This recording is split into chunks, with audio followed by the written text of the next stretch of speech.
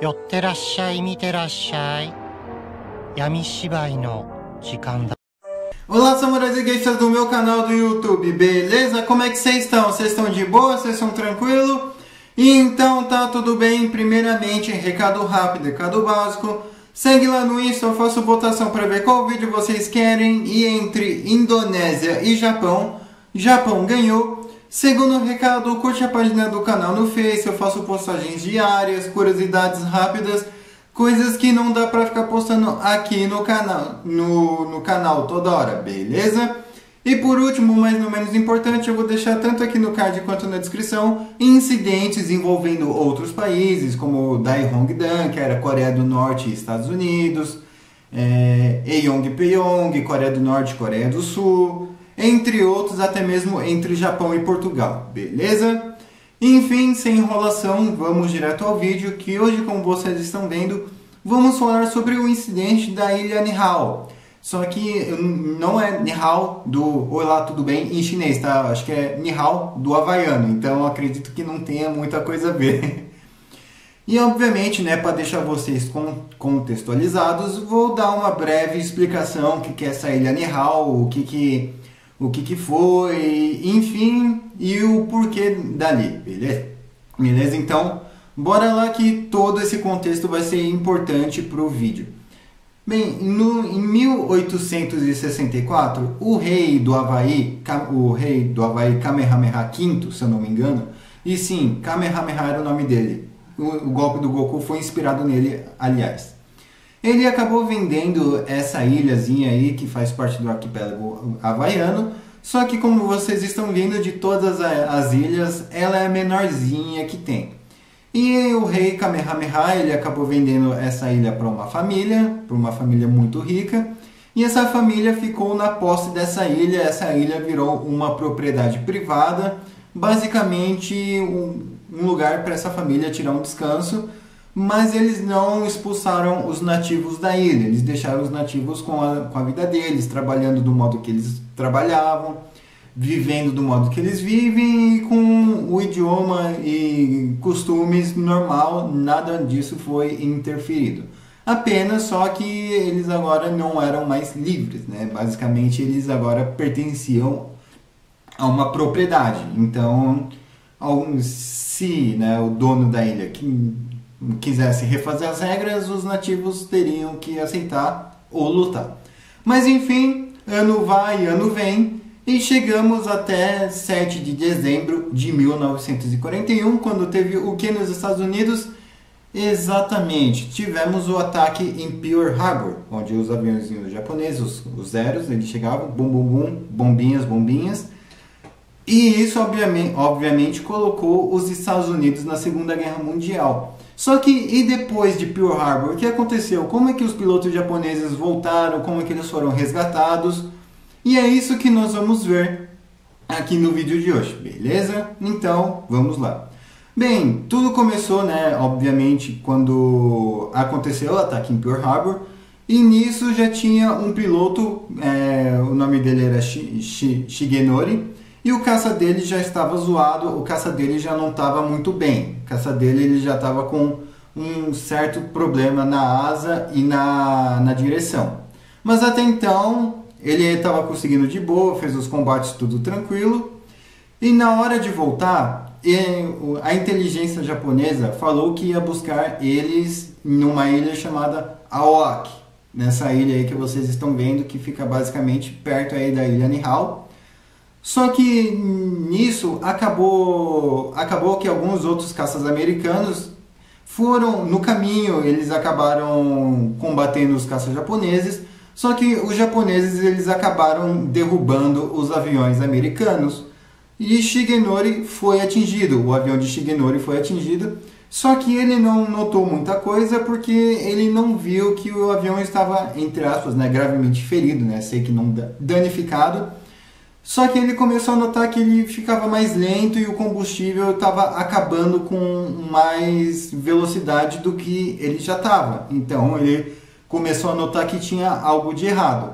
Então ele comunicou o porta-aviões, ele, comuni ele, ele conseguiu uma comunicação e falaram para aqueles que foram atingidos é, fazerem um pouso de emergência na ilha Nihao, que era uma ilha que, de acordo com a inteligência japonesa, estava desabitada e obviamente que não iria ter ninguém. Então, é, os aviões que foram atingidos, eles acabaram fazendo algumas manobras para poder ir nessa ilha Nihao. Só que como, obviamente, eles estavam, entre aspas, cientes que não tinha ninguém nessa ilha, que não tinha construção, não tinha nada, eles foram sem medo e acabaram colidindo com algumas casas e montanhas e até mesmo um prédio. Então, ele não é bem um prédio, né? Algum, esses prédiozinhos aí de quatro andares por aí, enfim, não muito longo, não muito grande.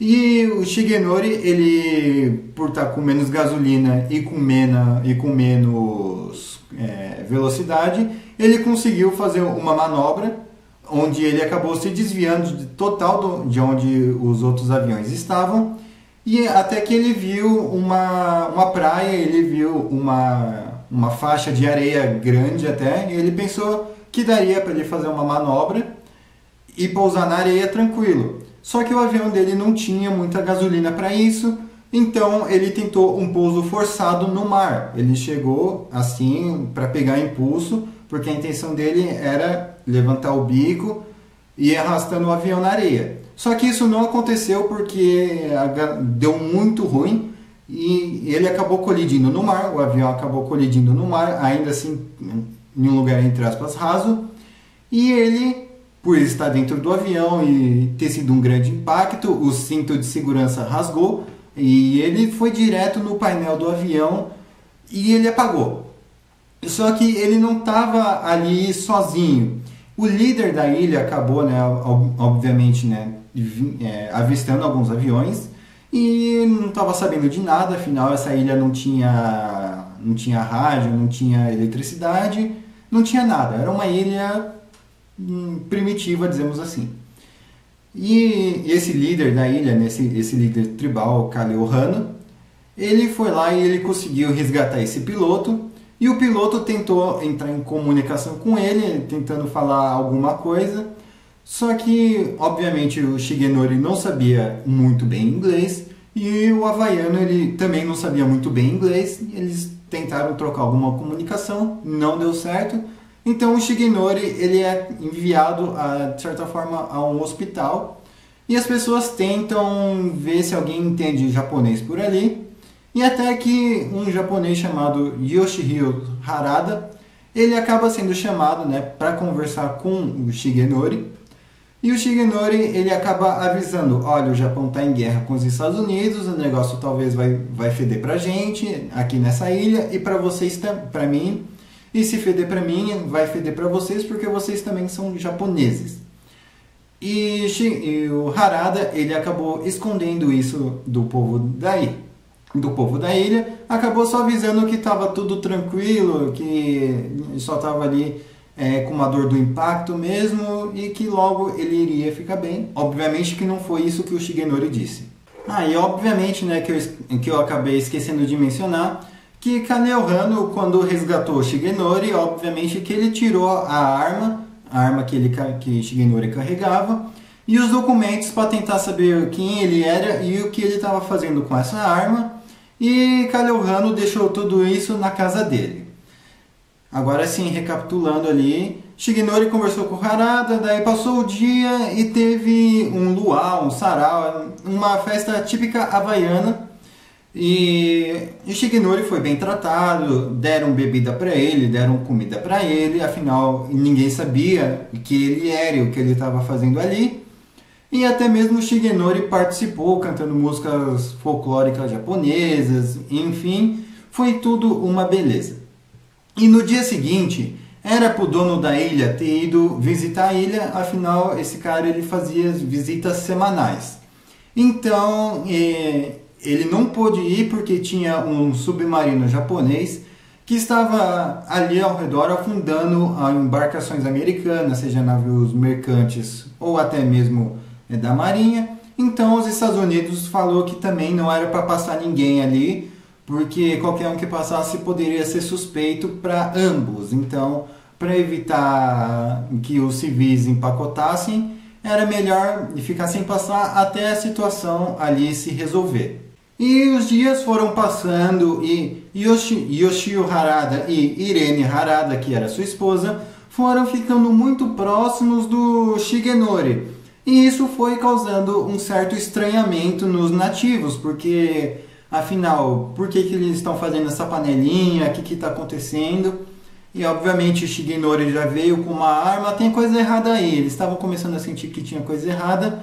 Então eles estavam é, deixando o Shigenori, entre aspas, livre durante o dia, mas sobre uma forte vigília, né? sempre acompanhando de alguma outra pessoa que não fosse é, japonês, que fosse ou americano ou nativo do Havaí.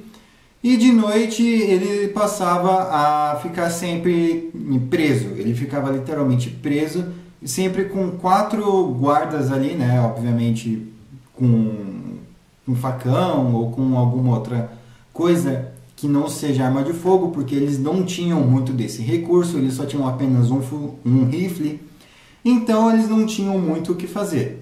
E todas as noites que o Shigenori ficava preso, Yoshihiro e Irene Harada, eles ficavam em armazéns atrás de armas, atrás de munição e atrás de qualquer coisa que pudesse ser usada como arma. Eles foram até mesmo no avião buscar, conseguiram achar um pouco, um pouco de munição ali.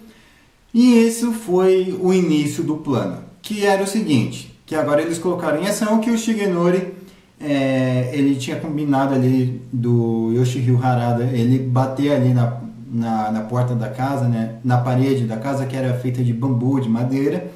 Então dava para escutar que esse era o sinal para o Shigenori falar que ele precisava usar o banheiro ali fora, porque não tinha banheiro dentro de casa. E o guarda, que na, naquela noite só estava em um, eles foram lá e acabaram rendendo o guarda assim que o Shigenori foi, entre aspas, solto para ir no banheiro e eles acabaram prendendo esse guarda. No caminho, eles acabaram encontrando uma mulher com, com dois cavalos e uma carroça, então eles acabaram rendendo essa mulher também, mas em vez deles apagarem ela, empacotarem ela, eles deixaram ela sair dali com um cavalo, porque eles queriam ir lá na, no, voltar no avião para pegar o máximo de coisas que dessem. E, e isso tava rádio, aparelhos de comunicação. É, um rádio é um aparelho de comunicação, né? Mas procurar tudo que desse para ser usado ali para se comunicar com os japoneses, para pegar para se defender. Só que eles acabaram encontrando um outro guardinha ali, um moleque lá, na verdade de 16 anos, que ficou encarregado de ficar de olho no avião.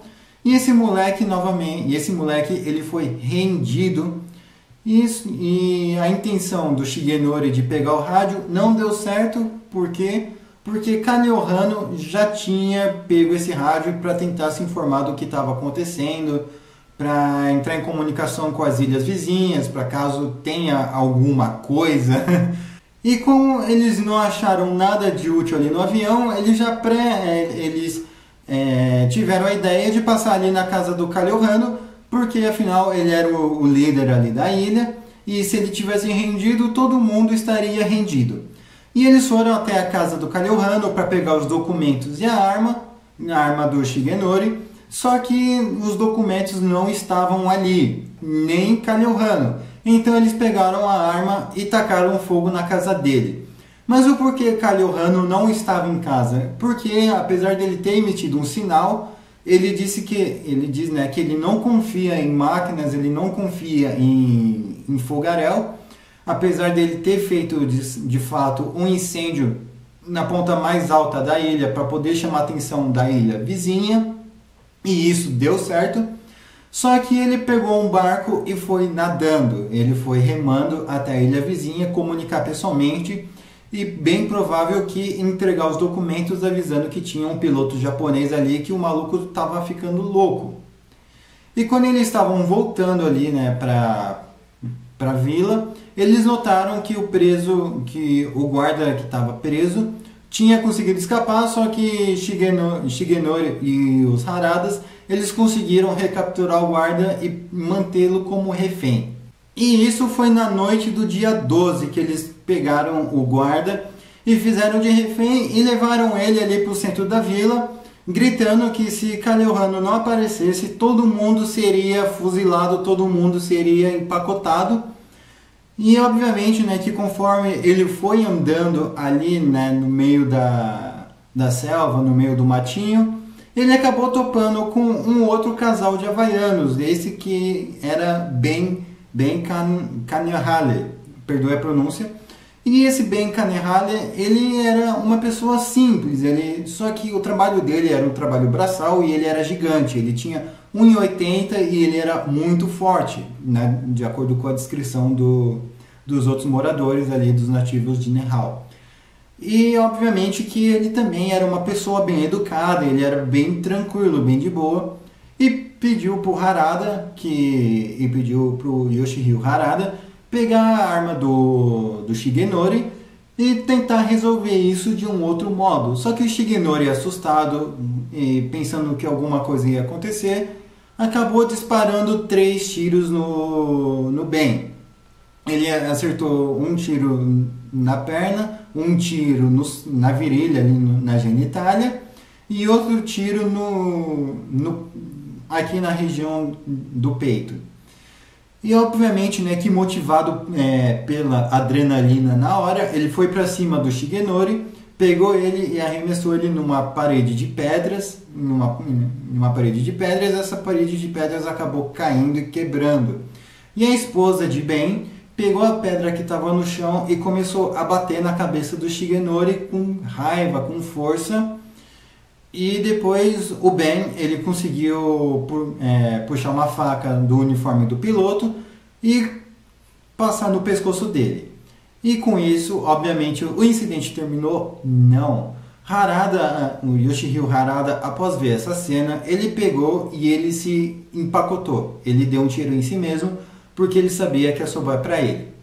E já no dia e já na manhã do dia 13, né, tipo na, na manhãzinha do dia 13, o dono da ilha chegou junto com Kaliohano e outros militares, justamente, né, tipo, vendo toda a situação do bem ferido, do Yoshihiro é, morto e do Shigenori morto.